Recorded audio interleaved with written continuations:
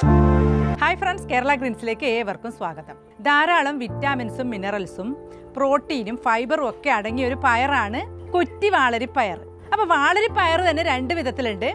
വള്ളി വാളരിപ്പയറും കുറ്റി വാളരിപ്പയറും. ഇത് കുറ്റി വാളരിപ്പയറാണ്. പ്രത്യേകിച്ച് യാതൊരു പരിചരണവും കൂടാതെ യാതൊരു കീടബാധയും ഇല്ലാതെ നമുക്ക് രണ്ട് വർഷത്തോളം വിളവ് തരുന്ന ഒരു ചെടിയാണ് കുറ്റി വാളരിപ്പയർ. സാധാരണ നമ്മുടെ അടുക്കളത്തോട്ടത്തിൽ മൂന്ന് മാസ കാലാവധിയുള്ള പയറാണ് കൃഷി ചെയ്തു വരാറ്. അപ്പൊ ഇതിലുള്ള പ്രശ്നം എന്താണെന്ന് വെച്ചാൽ ധാരാളം കീടശല്യം ഉണ്ടാകുന്നു എന്നുള്ളതാണ്. അതുകൊണ്ട് തന്നെ പലർക്കും പയർ കൃഷി ചെയ്യുവാനായിട്ട് മടിയാണ്.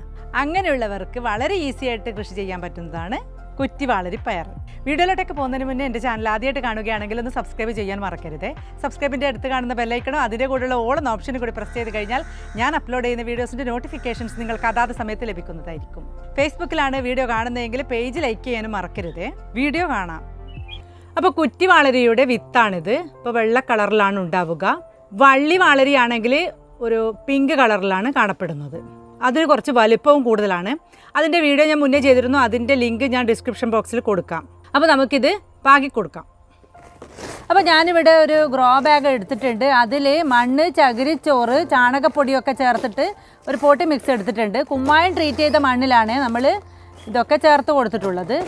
അപ്പോൾ ഞാൻ ഇതിൽ ഈ വിത്ത് നടുകയാണ് അപ്പോൾ ഞാനൊരു ഗ്രോ ബാഗിൽ രണ്ട് വിത്താണ് നടുന്നത്. അധികം താഴ്ത്തി കുഴിച്ചിടരുത്. ഇത്രയും മതി. കാലപ്പഴക്കം ഇല്ലാത്തൊരു വിത്താണ് ഞാനിപ്പോൾ ഇതിൽ പാകി കൊടുത്തിട്ടുള്ളത്. അതുകൊണ്ട് തന്നെ ഞാൻ കുതിർത്തി വെച്ചിട്ടൊന്നുമില്ല. നിങ്ങൾ പുറത്തു നിന്ന് വാങ്ങിക്കുന്ന വിത്താണെങ്കിൽ ഒന്ന് ഒരു മണിക്കൂറെങ്കിലും വെള്ളത്തിലോ അല്ലെങ്കിൽ സ്യൂഡോമാണോ സ്ലായനിയിലോ കുതിർത്തിയിട്ട് നടുന്നതായിരിക്കും കൂടുതൽ നല്ലത്. അപ്പോൾ പെട്ടെന്ന് അത് മുളച്ച് കിട്ടുന്നതായിരിക്കും. വെള്ളം നനച്ചു അപ്പോൾ പഴക്കമില്ലാത്ത വിത്തായതുകൊണ്ട് തന്നെ നാല് ദിവസം കൊണ്ട് തന്നെ ഇത് മുളച്ച് വരുന്നതായിരിക്കും. അപ്പോൾ ഗ്രോ ബാഗിലും ചാക്കിലൊക്കെ നടുന്ന സമയത്ത് ഒറ്റ ഒരു ചെടി മാത്രം നിലനിർത്തിയാൽ മതിയാവും. കാരണം നല്ല രീതിയിൽ വേര് പടർച്ചയുള്ള ഒരു ചെടിയാണ്. Vitamin A C protein iron calcium magnesium phosphorus potassium കൂടാതെ സിങ്ക് കോപ്പർ എന്നിവയൊക്കെ ഈ പയറിൽ അടങ്ങിയിട്ടുണ്ട്. കൂടാതെ ധാരാളം ഫൈബർ അടങ്ങിയിട്ടുണ്ട്. കാർബോഹൈഡ്രേറ്റ്സ് കരോട്ടിൻ സോഡിയം എന്നിവയൊക്കെ ഈ പയറിൽ അടങ്ങിയിട്ടുണ്ട്. മെയ് ജൂൺ സെപ്റ്റംബർ ഒക്ടോബർ മാസത്തിലാണ് സാധാരണയായിട്ട് കൃഷി ചെയ്യുന്നത്. നല്ല രീതിയിലുള്ള വിളവ് ലഭിക്കുന്നത് പകലിന് ദൈർഘ്യം കുറഞ്ഞ തണുപ്പ് കാലാവസ്ഥയിലാണ്. നല്ല സൂര്യപ്രകാശമുള്ള സ്ഥലത്ത് വലിയ ഗ്രോ ബാഗിലും ചാക്കിലും വലിയ കണ്ടെയ്നറിലും നമുക്ക് കുറ്റി വളരി കൃഷി ചെയ്യാവുന്നതാണ്. വെള്ളക്കെട്ടില്ലാത്ത നീർവാർച്ചയുള്ള മണ്ണിൽ വേണം നമ്മൾ കൃഷി ചെയ്യുവാനായിട്ട്. അപ്പോൾ ഇത് ഞാൻ കഴിഞ്ഞ ആഴ്ച പാകി പൊടിപ്പിച്ച കുറ്റി വളരെ ചെടിയാണ്. അപ്പോൾ രണ്ട് വിത്തുകളായിരുന്നു പാകി കൊടുത്തത്. അതിൽ ഒരു ചെടി ഉണങ്ങിപ്പോയി. അതിന്റെ കാരണം എന്താണെന്ന് വെച്ചാൽ ഞാൻ വേര് നോക്കുന്ന സമയത്ത് അതിൽ ഫംഗസിന്റെ ആക്രമണം ഉണ്ടായിട്ടുണ്ട്. കണ്ടില്ലേ? അപ്പോൾ സാധാരണയായിട്ട് വിത്തുകൾ സ്യൂഡോമോണസിൽ കുതിർത്തി വെക്കണമെന്ന് പറയുന്നതിന്റെ ഒരു കാരണം ഇതാണ്. അപ്പോൾ ചില സമയത്ത് ഇത് വിത്തുകൾ പാകിയതിന് ശേഷം ഇതിന്റെ തോടിന് കുറച്ച് കട്ടിയുള്ളതുകൊണ്ട് പെട്ടെന്ന് മുളച്ച് വന്നില്ലെങ്കിൽ ആ സമയത്ത് ചില ഫംഗസുകളൊക്കെ മണ്ണിൽ നിന്നും ഈ വിത്തിനെ ആക്രമിക്കുവാനുള്ള ചാൻസ് ഉണ്ട്. അങ്ങനെയുള്ള അവസരത്തിലാണ് ഇത് ഇതുപോലുള്ള പ്രശ്നങ്ങളൊക്കെ വരുന്നത്. ഇതിന് പക്ഷേ യാതൊരു പ്രശ്നവും ഉണ്ടായിട്ടില്ല. ഇത് ഞാൻ പറിച്ച് മാറ്റി നടുവാണ് ചെയ്യുക. അപ്പോൾ സ്യൂഡോമോണസ് നമ്മുടെ കൈവശം ഉള്ളതാണെങ്കിൽ വിത്തുകൾ സ്യൂഡോമോണസിൽ കുതിർത്തുന്നത് ഒരു പ്രതിരോധമായിരിക്കും. വിത്തുകൾ ഡയറക്റ്റ് പാകി കൃഷി ചെയ്യുന്നതാണ് നല്ലത്. പക്ഷേ ഞാനിതിപ്പോൾ ഇതിന്റെ അകത്ത് നിന്നും എടുത്തിട്ട് വേറൊരു ഗ്രോ ബാഗിലേക്ക് നട്ടുപിടിപ്പിക്കാനാണ് പോകുന്നത്. വേരൊന്നും പൊട്ടാതെ ഞാൻ ഈ ചെടി പറിച്ച് മാറ്റുവാണ്. പൊട്ടാതെ എടുത്തിട്ടുണ്ട്. അപ്പോൾ ഒരു ഗ്രോ ബാഗിൽ മണ്ണ് ചകിരിച്ചോറ് ചാണകപ്പൊടി എന്നിവ ഒരേ അനുപാതത്തിലെടുത്തതിന് ശേഷം ഒരു അൻപത് ഗ്രാം അളവിൽ എല്ല് പൊടിയും അൻപത് ഗ്രാം അളവിൽ വേപ്പിൻ പിണ്ണാക്കും എടുത്തിട്ട് മിക്സ് ചെയ്ത് വെച്ചിട്ടുണ്ട്. അതിലോട്ടേക്കാണ് ഇനിയിപ്പോൾ ഈ തൈ നട്ടുപിടിപ്പിക്കാനായിട്ട് പോകുന്നത്.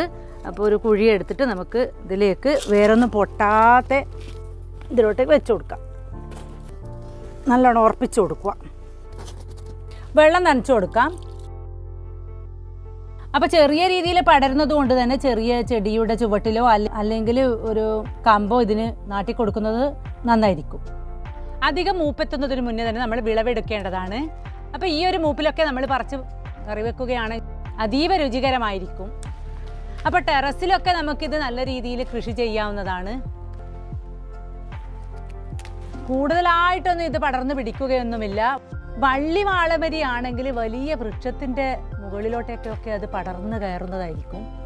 തോരൻ വെച്ചാലൊക്കെ നല്ല ടേസ്റ്റാണിത്. കുല കുലയായിട്ടാണ് ഇതിന്റെ പൂക്കൾ ഉണ്ടാവുക. പൂവിടുന്ന സമയത്ത് ഇതിൽ കണ്ടുവരുന്നത് ഉറുമ്പ് ശല്യമാണ്. അതിന് നമുക്ക് മഞ്ഞൾ പൊടി തൂവി കൊടുക്കാവുന്നതാണ്. അപ്പോൾ ധാരാളം ഇലകൾ വന്ന് മൂടുകയാണെങ്കിൽ അതൊക്കെ നമുക്ക് കട്ട് ചെയ്ത് കൊടുക്കുകയാണെങ്കിൽ ധാരാളം പൂവെടുത്തുണ്ടാവുന്നതായിരിക്കും പൂകൊഴിച്ചൽ തടയുന്നതിന് വേണ്ടിയിട്ട് നമുക്ക് രണ്ടാഴ്ചയിൽ ഒരിക്കൽ ചാരം ഒരു പിടി തടത്തിൽ ചേർത്ത് കൊടുക്കാവുന്നതാണ്. ഇത് മൂത്തതാണ് ഇത് വിത്തിന് വെച്ചതാണ്. അപ്പോൾ ഈ ഒരു തണുപ്പ് സീസൺ സ്റ്റാർട്ട് ചെയ്ത് കഴിഞ്ഞാൽ നമുക്ക് ഫെബ്രുവരി മാർച്ച് വരെ വിളവ് എടുത്തുകൊണ്ടേ ഇരിക്കാവുന്നതാണ് അപ്പോൾ ഇത് ഗ്രോ ബാഗിൽ നട്ടുപിടിപ്പിച്ചതാണ്. നല്ല രീതിയിൽ താഴെ മുതൽ കായ്പിടുത്തം ഉണ്ടായിട്ടുണ്ട്. അപ്പം ജനുവരി മാസത്തിലൊക്കെ നമ്മൾ നട്ടുപിടിപ്പിക്കുന്നതാണെങ്കിൽ വള്ളികൾ ഇങ്ങനെ പടർന്ന് പോയിക്കൊണ്ടിരിക്കുകയാണ് ചെയ്യുക. ആ സമയത്ത് നമ്മൾ വിചാരിക്കും ഇതിൽ കായൊന്നും ഇല്ല എന്ന് വിചാരിച്ചിട്ട് വള്ളി നമ്മൾ പറിച്ച് മാറ്റിക്കളയരുത്. സീസൺ ആകുന്ന സമയത്ത് നല്ല രീതിയിൽ കായ്ക്കും. ഈ രീതിയിൽ നമുക്ക് തുടർച്ചയായിട്ട് വിളവ് കിട്ടിക്കൊണ്ടേയിരിക്കും. വാളരി വാളങ്ങ വാളമര എന്നീ പേരിൽ അറിയപ്പെടുന്ന ഈ ഒരു പയർ നട്ടിട്ട് രണ്ടര മാസം കൊണ്ട് തന്നെ വിളവെടുക്കാവുന്നതാണ്. തുടക്കത്തിൽ നമ്മൾ അടിവളങ്ങളായിട്ട് കുറച്ച് വളങ്ങളൊക്കെ ചേർത്ത് കൊടുത്താൽ പിന്നീടുള്ള വളപ്രയോഗത്തിൽ നമ്മൾ പൈസ കൊടുത്തിട്ടൊന്നും വളങ്ങൾ വാങ്ങിച്ചിട്ട് ഇതിന് ഇട്ട് കൊടുക്കേണ്ട ആവശ്യമില്ല. മീനിന്റെ വേസ്റ്റ് കിച്ചൺ വേസ്റ്റ് പുളിപ്പിച്ചത് നമുക്ക് ഒഴിച്ചു കൊടുക്കാം. മീൻ വേസ്റ്റൊക്കെ നമുക്ക് തടത്തിൽ കുഴിച്ച് മൂടാവുന്നതാണ്. മികച്ച വിളവ് നമുക്ക് ലഭിക്കുന്നതായിരിക്കും ഇങ്ങനെയൊക്കെ ചെയ്യുന്ന സമയത്ത്. അപ്പോൾ എല്ലാവരും ഈ ഒരു കുറ്റിവാളരി കൃഷി ചെയ്യുവാനായിട്ട് ശ്രദ്ധിക്കുക. ഈ വീഡിയോ നിങ്ങൾക്ക് ഇഷ്ടപ്പെട്ടുവെങ്കിൽ ലൈക്ക് ചെയ്യാനും ഷെയർ ചെയ്യാനും സബ്സ്ക്രൈബ് ചെയ്യാനും മറക്കരുത്. സബ്സ്ക്രൈബിന്റെ അടുത്ത് കാണുന്ന ബെല്ലൈക്കണം അതിന്റെ കൂടെയുള്ള ഓൾ എന്ന ഓപ്ഷനും കൂടി പ്രസ് ചെയ്ത് കഴിഞ്ഞാൽ ഞാൻ അപ്ലോഡ് ചെയ്യുന്ന വീഡിയോസിന്റെ നോട്ടിഫിക്കേഷൻസ് നിങ്ങൾക്ക് അതാത് സമയത്ത് ലഭിക്കുന്നതായിരിക്കും. ഫേസ്ബുക്കിലാണ് വീഡിയോ കാണുന്നതെങ്കിൽ പേജ് ലൈക്ക് ചെയ്യാനും മറക്കരുത്. Thanks for watching.